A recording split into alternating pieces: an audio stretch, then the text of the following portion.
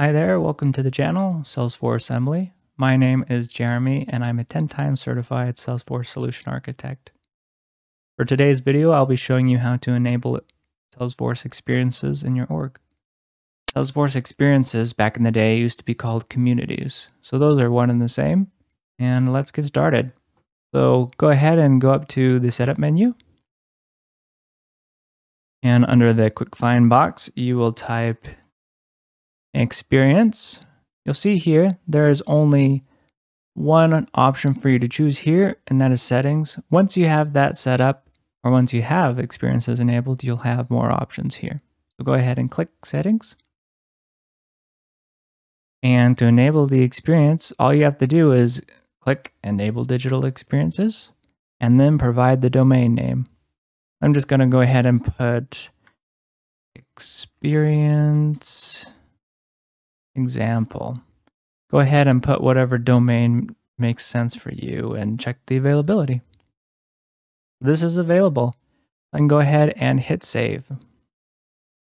The most important thing from this message is that external users will have some access to the information in your org. So it's very important to review this and make sure that you're not sharing more than you intend to. But you can worry about this between now and when you publish your site for external users to see. So we're going to go ahead and hit OK.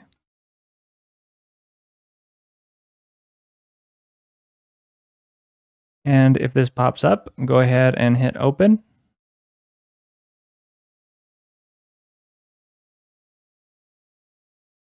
And success. Now you can go ahead and create sites. You've got experiences enabled.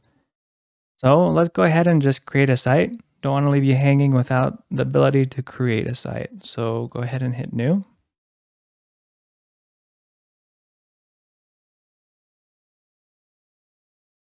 From here, you can select whatever template meets your needs. Just for the sake of this one, let's go ahead and choose customer service. Go ahead and click get started. This name here is the site name. So I'll go ahead and just call this my first site. You can see here in this URL, this is the domain that I specified earlier. And we're going to go ahead and hit create. So this will take a little while. Salesforce is doing the stuff it needs to in the back end. It's taking that template and, and getting it ready for you. So once you've got your site created, you can do your administrative work on it. You can really do everything that you need to to customize it.